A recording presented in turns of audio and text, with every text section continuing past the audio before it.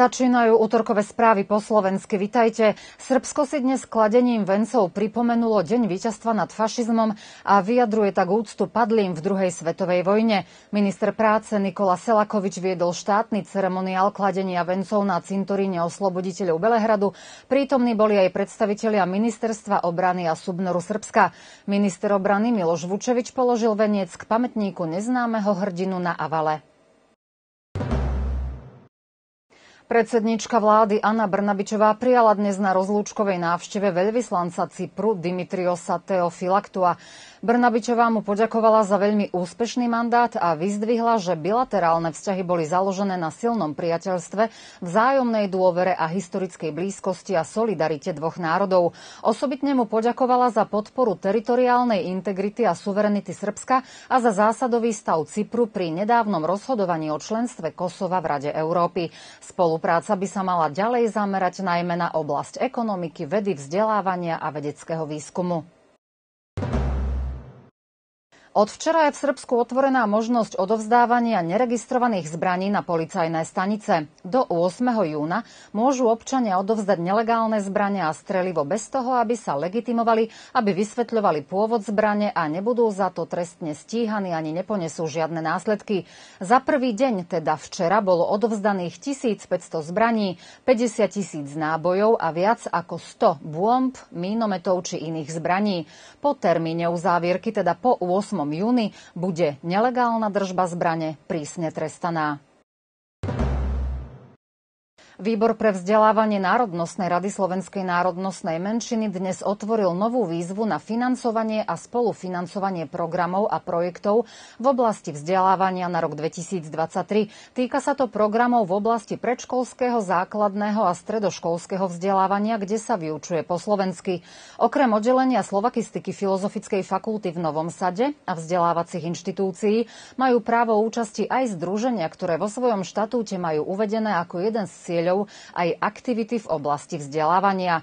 Prioritu budú mať projekty modernizácie výchovno-vzdelávacej práce, projekty zamerané na zachovávanie, zveľadenie a pestovanie slovenského materinského jazyka, kultúry a tradícií a ďalšie. Všetky podrobné informácie sú zverejnené na stránke rada.org.rs v záložke výzvy. Termín uzávierky je 31. máj.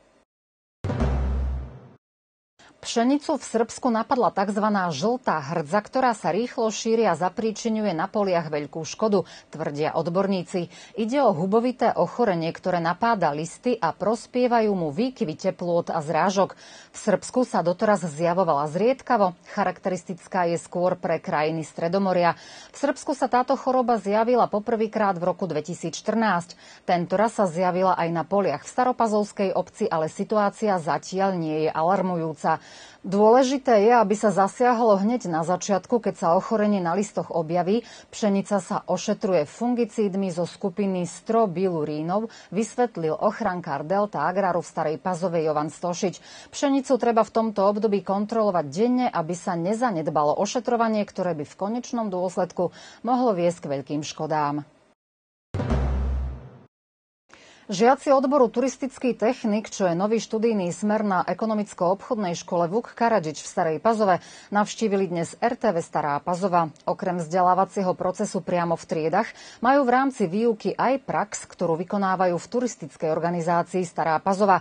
Jednou témou učebných osnov je aj mediálna gramotnosť a komunikácia s médiami. Z tohto dôvodu 12 žiakov dnes navštívilo priestory Staropazovskej RTV, kde si obhliadli štúdia a dozvedeli dozvedeli sa podrobnosti súvisiace s prácou v tomto médiu. Aj média majú významnú úlohu pri rozvoji turizmu, robia sa rôzne promócie, rozhovory a do pozornosti sa dáva celý rad dôležitých podujatí či destinácií, čím sa podporuje oblasť turizmu a cestovného ruchu. Počas víkendu sa bude organizovať už 19. ročník podujatia Noc múzeí. Pri tej príležitosti v sobotu 13. mája v Báčskom Petrovci v galérii Zuzky Medveďovej bude otvorená samostatná výstava akademického sochára zo Starej Pazovy Jana Stupavského. V organizácii Staropazovskej knižnice Dositea Obradoviča zajtra na oddelení pre dospelých sa bude o 19. hodine konať ďalší z radu literárnych večierkov.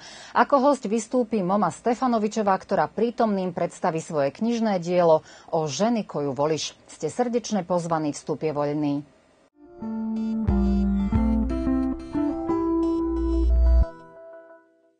Stredu bude sucho, polo oblačno, teplomr bude ukazovať od ranných príjemných 12 stupňov, maximálna denná teplota okolo 19.